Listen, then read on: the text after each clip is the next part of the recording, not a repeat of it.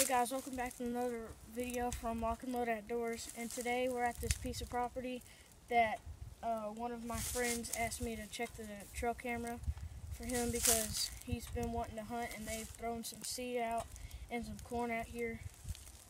Um, out here in this like little opening. And it's a really nice piece of property. They got it all cleared out and there's a big lake back there. And he just asked me to check this camera. And I checked it last week, and there was just some doe.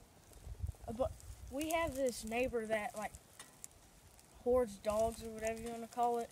Like they have too many, and they're just overpopulated now, and they're all over the cameras, all over our property. And I got them on this camera, so let me check it, and I will show you if I get anything on it. Um, sorry guys, but um, this camera, or I think it was the card, um, it just didn't take any pictures.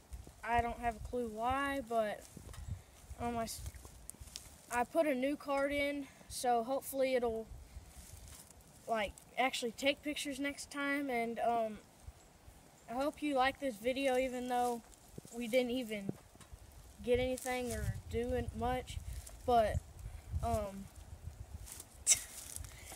Uh, that's gonna be the end of the video. And thanks, mom, for recording.